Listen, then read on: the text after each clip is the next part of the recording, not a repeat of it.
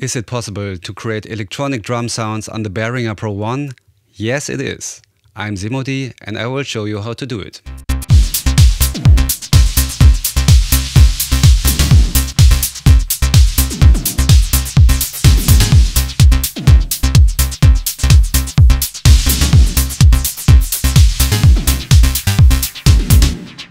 Most electronic drum sounds are composed of a mix of filtered noise and pitch sweeps.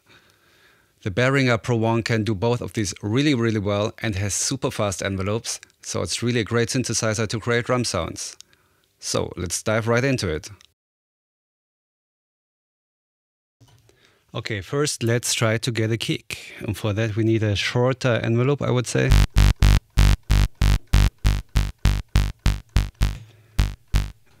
And some pitch modulation.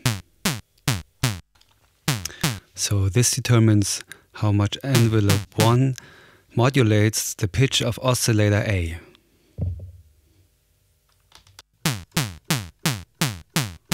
Nice. So no sustain. Filter more closed. More resonance.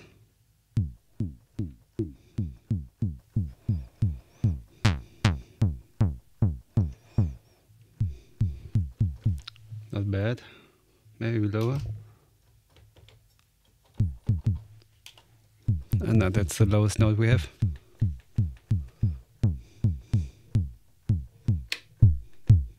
Ah, okay, cool.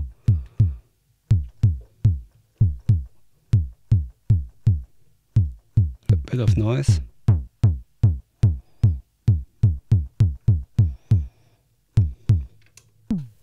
Here, let's try to get some nice 909 pitch sweep.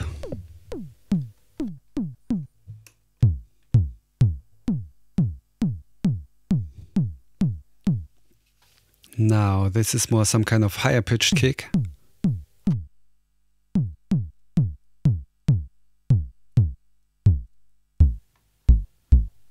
Nice.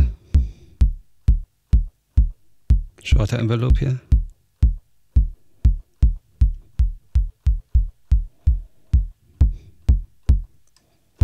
Also not bad. Oh, this one is good.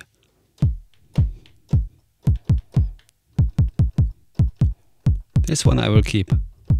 Nice. So next we probably want a snare drum, I would say. So for that, let's open the filter.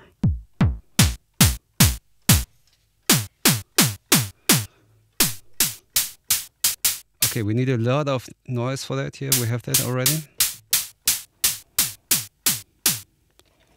And a bit of sound, yeah? Maybe a bit higher.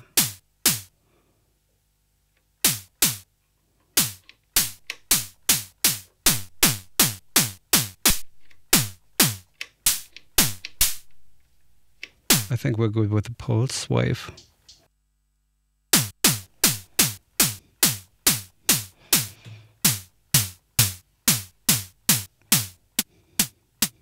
Ah, that's nice. This is my snare.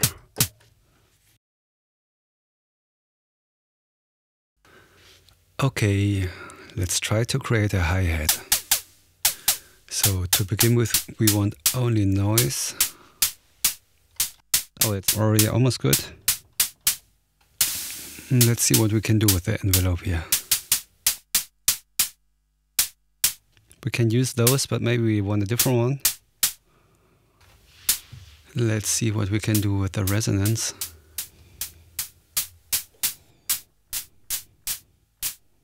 Interesting.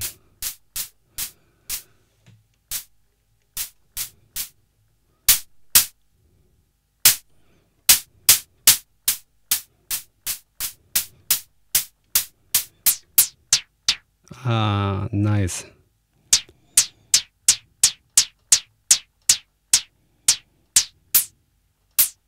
I like this. That sounds pretty much like a closed hi-hat now. I will keep this. Yes. Okay, if I want some toms, I have to play with the pitch envelope first.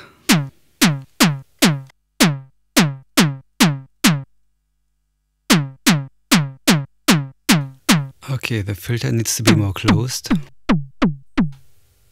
Not bad already.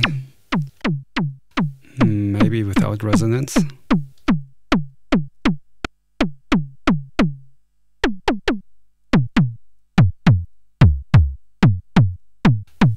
Yeah, I like this already. Let's try the second oscillator.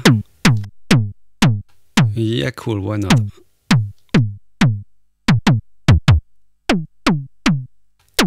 Okay, let's try something with the pitch envelope.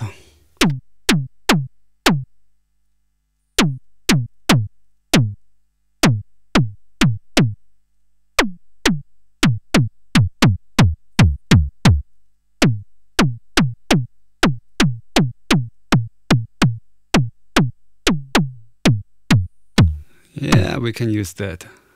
Well, now we have the drum sounds, let's see how useful they are. I will first use the raw recorded drum sounds and later on blend in some EQing and some room effects.